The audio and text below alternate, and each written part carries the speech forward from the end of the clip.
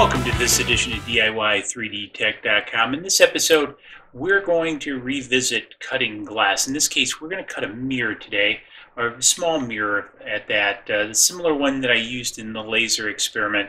Uh, however, this time I've cut out a little bit more, or I'm intending to cut out a little bit more complex objects. I've created this object in Inkscape. Uh, in short, just joining a 3 and a D together, obviously 3D along with a base to kind of hold them together. And then what I what I've done is I've exported these as an EPS file. Then from this EPS file, I've taken this into Cut 2D, and you can see the structure here. I've created two, two, two I'll spit it out, tool paths. Uh, one for the inside cut of the D area here inside the ring, and then an outside portion you see here that cuts the outside.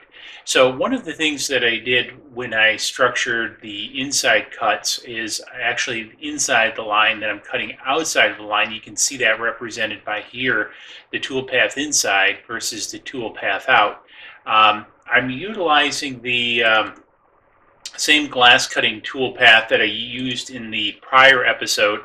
So uh, in short, this one right here, an end path, it's a 1.587 end mill and I'm doing a 0.1 pass, and I'm doing this at uh, 10 millimeters a second feed rate, uh, the plunge rate of one millimeter uh, a second. So uh, this is the same one, so I'm hoping that this works. Now I'm going to try a little bit different uh, tactic of cutting this, and we'll take a look at that at the machine. So tell you what, let's cut over to the machine and take a look at it, how I got it set up.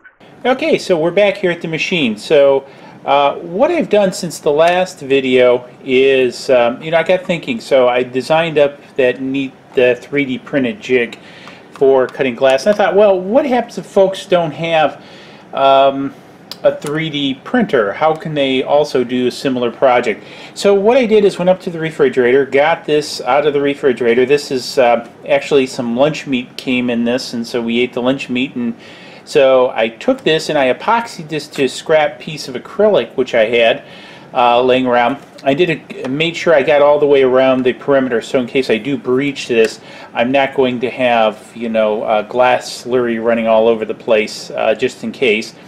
And then what I've done is I've now taken the mirror which is a 50 by 50 millimeter mirror and I've just put masking tape over the top, marked the center, and then what I've done is I've placed double-sided stick tape on the back of it.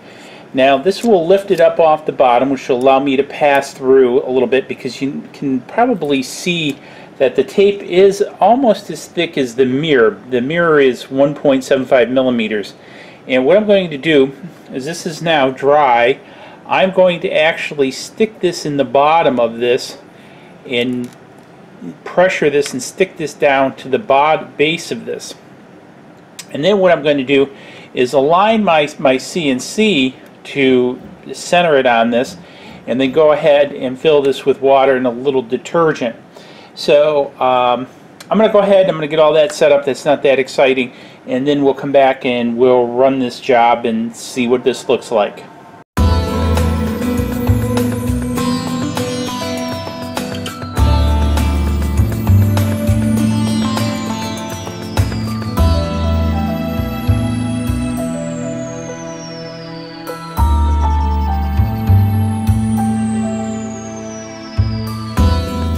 Okay, we're back at the bench. So here's what we came up with uh, as we cut this out. I wouldn't say it was a total success. The D got cut out pretty good, and you can see it's still stuck to the, the paper or the tape.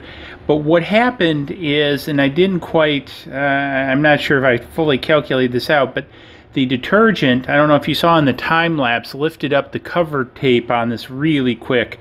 Um, you know, about the, after the first pass, it pulled up. So I, I reached in there and with a screwdriver popped it out. But one of the things you see this piece here is um, it kind of gouged this when it when it finally really broke through on the first turn of this because you can see here um, where it kind of broke through and then it hit this tape when it hit the tape it just pulled the tape it just pulled this right up off the bed of the uh, uh, the Tupperware thing or whatever, the lunch meat container. So I think the problem with that is is there definitely needs to be some sort of downward pressure on this. In other words, um, I don't think the tape will work as far as holding it in. Um, so I probably wouldn't go with the tape.